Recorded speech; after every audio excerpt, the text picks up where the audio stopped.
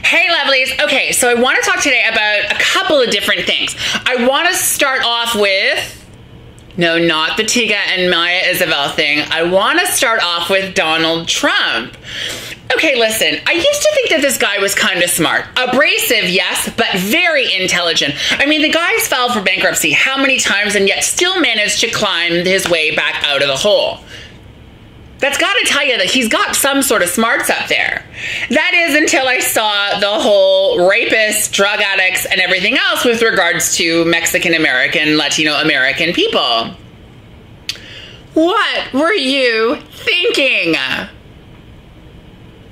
Oh my goodness gracious.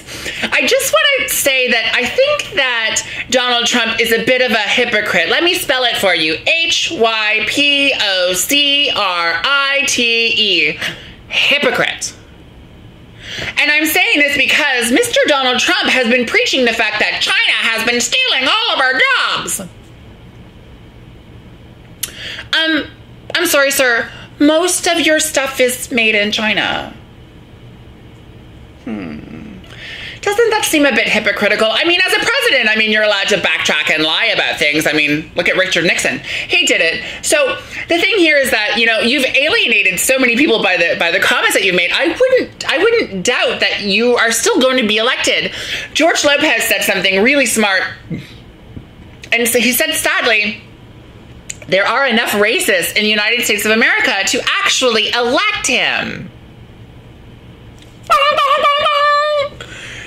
Could you imagine Donald Trump as president? Good lord. Because the United States is attached to Canada, I'd fucking move. I would get out. I would be like, oh, uh, peace out. Peace out. I'd be done. Anyhow, I just want to say that it's just very hypocritical. I think that with what he said, I, I, I just don't know. I, am really, really, really disappointed in um, in Donald Trump and his comments. Uh, yeah. And then he's actually gone after the writer from Modern Family, which which is even worse. Like, I mean, it's there's just a lot of idiocy going on right now, and it's it's very overwhelming to say the least. Now, on to the meat and potatoes of this here vlog. I know people have been asking me what I think of the Tyga and Maya Isabel thing, or Mia, Maya. I may interchange. I'm sorry. I don't really know how to pronounce her name, so I say Maya or Mia. Um, it's in no disrespect to her whatsoever. Here's what I find fascinating. I find it fascinating that we were so apt to sort of stand behind Laverne Cox and to support her as a black trans woman, yet somehow we think that Maya Isabella is below that. They are both black trans women, and while one may have chosen the adult film industry and done very, very well, and the other has chosen mainstream. We don't know what Laverne Cox did before the mainstream thing. We have no idea. Not that I am in any way insinuating that Laverne Cox may have done something wrong or insidious in her past. However, let's not be black kettles here.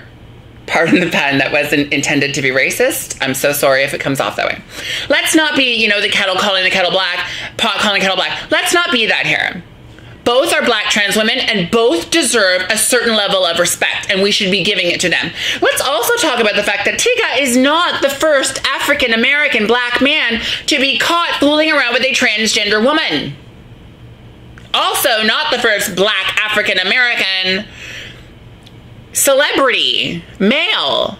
If you recall, Eddie Murphy was caught picking up a tranny prostitute just a few years ago.